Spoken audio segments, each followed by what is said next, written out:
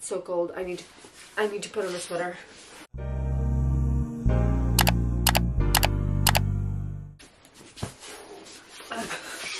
Okay, better. I'm back with a book video. I'm really excited for this one because I love filming and editing book videos. So today I'm gonna show you guys a bookshelf tour of my wonderful bookshelf back here and also what's on the top of this. So let's just get into the video because I don't want to make this intro too long. I'm gonna start by showing you this part, this top part of the bookshelf. So.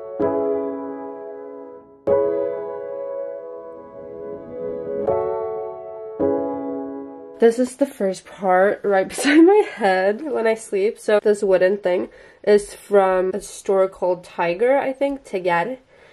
If you're Scandinavian, maybe you know what that is, but I don't think they sell this one anymore. It's like one and a half years old, I think, but it doesn't matter. That's not what we're talking about. So first we have this candle from Rituals. Uh, I don't know what it's called or what it smells like, but it smells good. I usually have like a thousand elastics for my hair here. And then I usually just have painkillers. Kind of, is that what it's called? Painkillers? I think. Here. Then, here we have this little reading light that I kind of DIY'd. Because this used to be a reading light. If you read, you know, like, what kind of reading light this is. But this stopped working after, like, three days. This is usually you put on your backpack so that people can see you in the dark. But uh, I put it on this one so that I can use it when I read. Then I have this fidget thing that I got from my sister, like, you know when fidget toys were like a really big thing? And then the story about this one, this candle sucks. I don't like this candle and it doesn't smell anything. It's supposed to be a scented candle, but it's not a scented candle. And I broke it. I don't even remember how I broke it, but I broke it and now it looks like this and it's literally in pieces. Behind this, we have my rings and then depending on which book I'm reading, right now I'm reading Daisy Jones and the Six, but, but the book I'm reading is always here. So, do you like my bookmark? It's like a unicorn hairpin thing. Next to it, I have this little jar container thing with an avocado sticker on it. And it has my guitar picks in it. So, when I need one, when I'm playing my guitar in bed, usually just reach for this. And then next to that one, I have this, which is for my braces. And they're just there, and they're supposed to taste like uh, raspberry, but they don't. They don't taste like anything. and then here, like across from that, I have all my earrings. And then under this, I have just hairpins and mini elastics and, you know, stuff like this. So that's what's in this. And then I have some bookmarks. And I always have my water bottle because dehydrated. And, you know, I need my water bottle. That's my keyboard.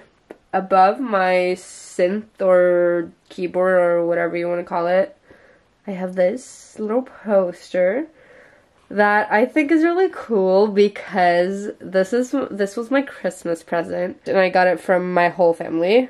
Like my whole family got together and bought this for me. Um and I'm super excited because this was how my mom told me that I was going to see Niall for the first time and we were going to Star Festival, which he's playing the 6th of July 2023. And mm, if you know me, you probably know that Niall is my favorite person on the whole entire planet. So I cried, to say the least. I cried when I found out that I was seeing him. Obviously, I need to put it up.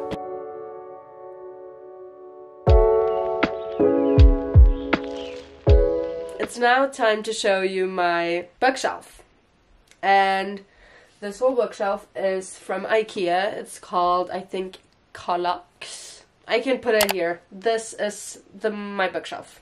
It's from Ikea. I used to have this standing up against my, actually up against the end of my bed. Let me show you a little video of me the last time I redid my bookshelf so that you can see how they used to be.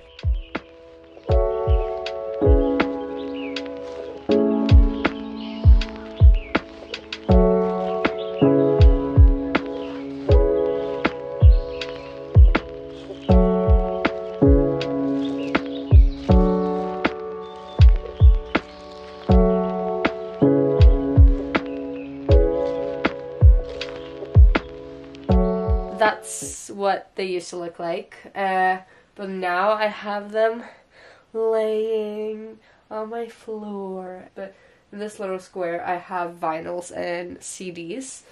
First, I have the best of ABBA. You know, if you don't know what ABBA is, you've been living under a rock. So, I love this one.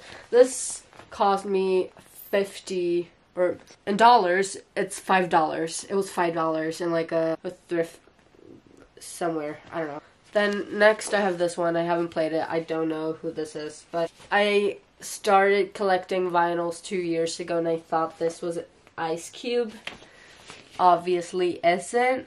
It's some dude that my dad used to listen to. I tried to listen to the songs on this vinyl on Spotify, and I didn't like his music, so I don't know why I still have this, but I do.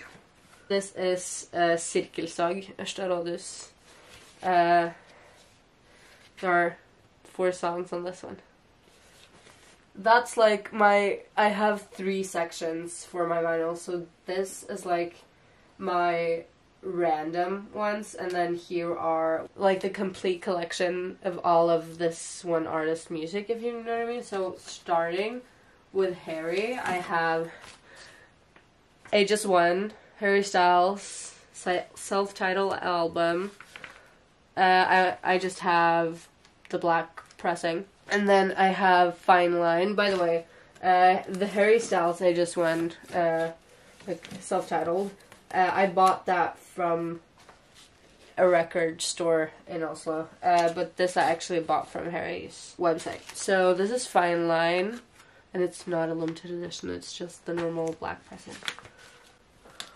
This I also bought from Harry's website, and this is Harry's house. Also, just the normal black pressing.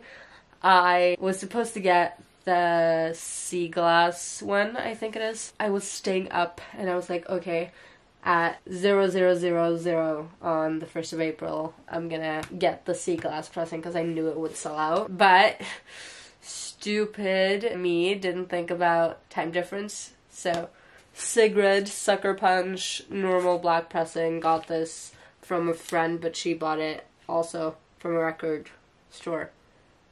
That what it's called? Vinyl store? Record store in Oslo. Platekompaniet if you're from Norway. This is just like the little thing that the vinyl's in. This outside thing, kind of, you know, is actually framed. I can show you. Where is it? This is it, and it's framed because it's signed by Sigrid. Also, I was at the album release concert at Oslo Spektrum the 6th of May, if you didn't know, and I miss it very much, and it's almost been a year, and I'm very sad. Go to my Instagram and scroll down a little on my page, and then you can see what happened at that concert, too. This is actually not standard standard black pressing. This is it looks like red, but it's like like orange kind of things in there. But it's very much red. I don't know if it can you can see it that good on camera, but if you look at it from here, it's super dope. So. Also, if my voice is a little weird, that's because I'm starting to get sick again. So that was that little section of my vinyl shelf. And then we're starting this section, and this section is where I have like artists where I don't have uh, their whole discography. Discography, yeah. So I have Donkeyboy, Caught in the Life, and I think this is so cool because this album contains like my first two favorite songs in my life. Like when I was two, I was singing these, the first songs that I ever learned in my whole entire life. So I think this is so cool to have on vinyl. Walls. Walls by Louis Tomlinson. Also standard black pressing. Bought it in Platekompaniet, Norwegian record store. Love, love, love. Then I have my baby. Now, Heartbreak Weather, favorite album of his. I love Flicker too though, don't get me wrong. Trying to find Flicker all over the freaking world. He's not selling it on his website at the moment, and it's not for sale in any record stores, and I can't find it anywhere. So, trying to find Flicker at the moment, but one of my favorite albums of all time, uh, Heartbreak Weather. Got it for my birthday, and I cried when I saw it. Standard black pressing. Next to my vinyls here, I have some of my CDs and my one cassette that I have. This is also How to Let Go by Sigrid on cassette. I don't have a cassette player, so I can't play it. I think it's pretty cool to have though. And it's also one of my favorite albums. Such a good album. Go listen to it right now if you haven't. And then I have this CD, which I bought at the Tommy X Oslo or OTBX Oslo concert last year a year ago soon. Met my best friend there, by the way, Ian shout out to you. And it's signed by Tommy, and it's like unreleased songs. Love. And then under that, I have some CDs. So I have Up All Night, One Direction. Nothing special with it, but it's Up All Night. And then Take Me Home. Nothing special with it. It's Take Me Home. Love.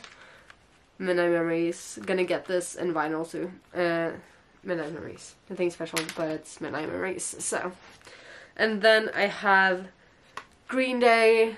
Don't really listen to Green Day, but the songs I've heard I've loved, so I have it.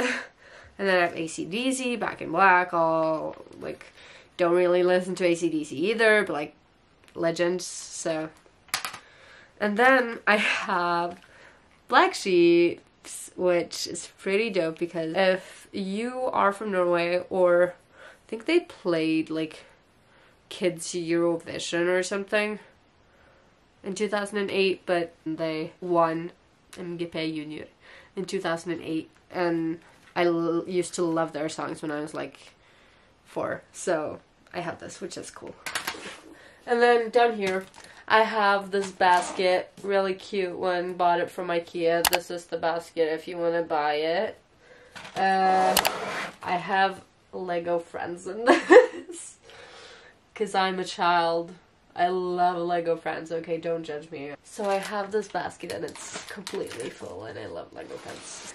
Here, this is my yellow, orange, and red bookshelf kind of thing. So here I have A Good Girl's Guide to Murder by Holly Jackson. The Elite. This is the Norwegian version and I don't know what it's called in English, but it's the second one. And then I have Maybe in Another Life by Taylor Jenkins Reid. And then I have If I Can't Have You by Charlotte Levine. And then I have uh, Hurhara by Gulraiz Sharif. I don't know if that's how you say it. Correct me if I'm wrong. I might be wrong.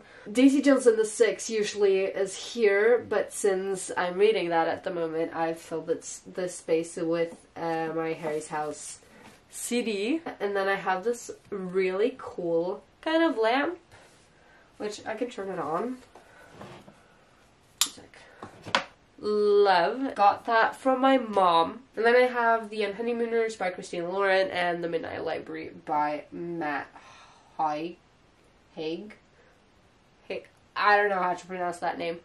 But this, you can see it. Under here, I have my pink books. I don't know if this is focusing, but that's fine. So I have it Ends With Us by Colleen Hoover. To All the Boys I've Loved Before by Jenny Han. And then I have One Last Stop by Casey McQuiston. And then Love on the Brain by Ali Hazelwood. And then I have a little rainbow flag here because obviously. And then I have a little rainbow uh, circle thing that was supposed to be around a rainbow Saturn Christmas decoration thing. But it broke, so I just kept kept the rainbow thing and I put it around this plant because I think it's so cute. And then I have Red, Red, White, and Royal Blue by Case McQuiston. And then I have Funny You Should Ask by Liz Sussman. I love this book, by the way. I gave it 4.5 stars, I believe, or 4, 4.75 maybe. I think I gave 4.5. And I also read It Ends With Us, and I gave that 4.5. I believe, I think. And then, uh, I Kissed Shara Wheeler by Casey McQuiston. And then I have these two, which are not really pink, but I feel like they fit here. Uh, I have Beach Read by Emily Henry. Read this, rated it for 4.5. Loved it. Uh, read it this summer. Uh, go read it if you haven't. And then I have Book Lovers by Emily Henry, which I want to read soon because I want to read Book Lovers and People We Meet on Vacation before I read Happy Place, which comes out 25th of April, I think. Yeah. Here I have my white and black books. Can we just not think about how I look right now? Thank you very much. I'm at my cabin in the mountains. But I just wanted to say something. My sister's looking at me weird. I just wanted to say something. You can see those, uh, what's it called? Funko Pop figures that I have on the top of my book books. Those are the only two I have. And I don't know where they sell more Marvel ones. So tell me if you guys know where they sell more Marvel ones. If you're my friend and you're seeing this, just text me or something. But, uh, or leave a comment if you know. Um, because I really want to buy more. I only have those two. So I have a Thousand Boy Kisses by Tillie Cole, and then I have Confess by Colleen Hoover. Then I have One of Us is Lying by Karen, Karen McManus. Is that how you say it? Read this, gave it 3 out of 5. Didn't love it, but I liked it. And I liked the end of it. The first 150 pages sucked. then I have the sequel to that, One of Us is Next by Karen McManus. Then I have The Cruel Prince by Holly Black, which I think I'm going to love. And I started it. I'm like 40 pages in, but that was two years ago. So I'm definitely starting that all over again since I haven't read it in probably two years. Or I actually tried to start it again a year ago, but that did not happen. Here I have Chaos Walking, but in Norwegian. I read like 200 pages of this, but did not like it because I watched the movie. But I have Kids Walking by Patrick Ness, and then I have uh, You Had Me at Hello by Mhairi McFarlane or something. I can't pronounce this name, but started this book, think I'm loving it, but I haven't finished it yet, but I'm going to. Uh, and then I have More Happy Than Not by Adam Silvera. And then I have The Seven Husbands of Evelyn Hugo by Taylor Jenkins Reid. And I read this book uh, a year ago. I rated it 4.5 out of 5, but I think I'm going to rate it 4.7. No, kidding. I rated it 5 out of 5. But it's not a 5 star for me. It's a 4.75. But I did love this book. Like, very much. Then I have After by Anna Todd. And then I have Looking for Alaska by John Green. And then on the side here, I have a comic book, uh, which is Age of Ultron. Uh, like Avengers Age of Ultron, Marvel. Uh, and here I have Ned, like a Funko Pop of Ned. And then I have Monica Rambeau. I think that's how you pronounce it. Love this. Very much. Okay, so above my black and white shelf, I have my green shelf. Here I have People We Meet on Vacation by Emily Henry. I have Smaragdatlaset by John Stephens, but it's the Norwegian version, uh, obviously, since I said Norwegian title. And then I have Siege and Stormer, Sage and Stormer, whatever. I don't know how to pronounce this, but from the Shadow and Bone trilogy uh, by Leigh Bardugo. Is that how you pronounce it? Probably not. But that one, and then I have Twisted Lies by Ana Huang, which is number four in the Twisted series. So I'm a little bit fucked with that one. I kind of need the first one to see if I like the other ones, but I'm, I think my friend has it, so I'm gonna borrow it from her. On top of those books, I have this really dead plant, not living, to be honest. Uh, but that's fine. It's cute. And then I have Taylor Swift debut, just sitting in between my books here. I have November 9th by Colleen Hoover. Don't like this cover. I want the other cover, but bought that one. And then I have this is the Norwegian version. I think if you know the cover, you know the book. Uh, this is the first one in the series. And then The Hating Game by Sally Thorne, and they both died at the end. I have read that. I didn't necessarily love it. I think I gave it 3 or 3.5. Don't know, but I read it. It was fine. It's growing on me every day. then My Policeman didn't love it. I didn't like it either. I give it two stars. Uh, but I watched the movie and the movie was amazing. So, last but not least, here we have my blue shelf. I have Reminders of Him by Colleen Hoover. Loved this book. Gave it 4.5, I believe. This is better than it is with us. I really like this. And then I have Detharikos of Neda Alei. And then I have The Love Hypothesis by Ali Hazelwood. Loved this book. Think I give it five stars. Yeah, this is a five star for me. And uh, I'm gonna annotate it. I'm gonna reread it and annotate it. I love this book so much. Adam Carlsen, everyone. Adam Carlsen. Okay, thank you. And then I have We Were Liars by Ela Carr. Also read this one. think I gave it 4 or 3.5. Uh, I hated the ending, but I liked it. I just didn't necessarily love it, but I liked it a lot actually. And then Maybe Someday by Colleen Hoover, and then All the Bright Places by Jennifer Niveen. Is that how you say it? Niven? Niveen? I don't know. And then I have actually watched the movie for this book. I just haven't read the book yet, and I really love the movie. Probably one of my favorite movies. And since Finch loves to take pictures, I, or at least he does in the movie, put a camera that doesn't work here. Then I have a CD. I tend to like put CDs in between my books, but I have this Elvis Gold CD with uh, lots of like the best of El- the best by Elvis. Uh, so I have that, and then I have a Donald Pocket book, I believe, or something. I've had this since like fifth grade, so. And then I have History's All You Left Me by Adam Silvera, Ugly Love by Colleen Hoover, Call Me By Your Name by Andre A. Man. I can't pronounce this, but Call Me By Your Name. And then Shadow and Bone by Leigh Bardugo. First book in the Shadow and Bone trilogy. And then below that, I have another one of these baskets. And and here I have Christmas books because I don't want to look at Christmas books when it's not Christmas. And then I have bunch of old school books. So I've written in like all of these. All my school notebooks that I've had since fourth or third grade.